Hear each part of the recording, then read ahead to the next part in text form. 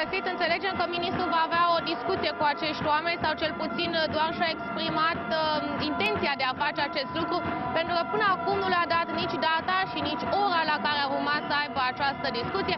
Îl am alături de mine pe vicepreședintele sindicatului. Spuneți-mi, vă rog, referitor la întâlnire. Radu Stoi a venit și v-a spus... L-am invitat pe domnul ministru să vină să discute cu noi în stradă, însă acesta a refuzat. Ne vom duce noi la negocieri, dar spre finalul protestului. Da, va- am înțeles că v-au fi chemat astăzi la o întâlnire, la o discuție. Nu știu exact, sincer. Bun. Motivele principale pentru care protestați? Protestăm astăzi în fața Ministerului Afacerilor Interne pentru că ne simțim prizonieri incompetenței conducerea acestui minister și a Poliției Române.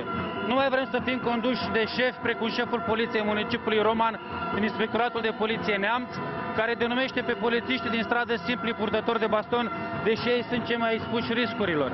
Domnul ministru, de când se află la conducerea acestei instituții, nu s-a ținut de promisiuni și nu a făcut practic nimic bun pentru polițiști. I-am cerut domnului ministru să modifice ordinul 400 privind regimul disciplinar al polițiștilor, ordinul 136 privind decontarea cheltuielor de transport pentru polițiștii care lucrează în alte localități decât cele de domiciliu și alte norme interne care nu au fost modificate. Văd că ați trecut și la măsuri radicale,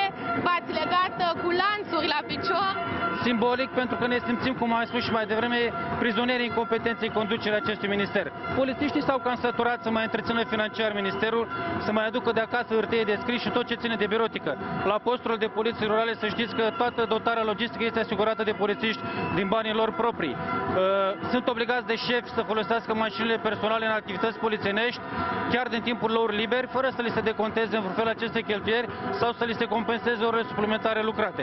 Cât intenționați să continuați cu protestul? Până domnul ministru va înțelege că trebuie să facă o reformă urgentă în poliția română. Mulțumesc foarte mult, așadar vom urmări și noi cu mare atenție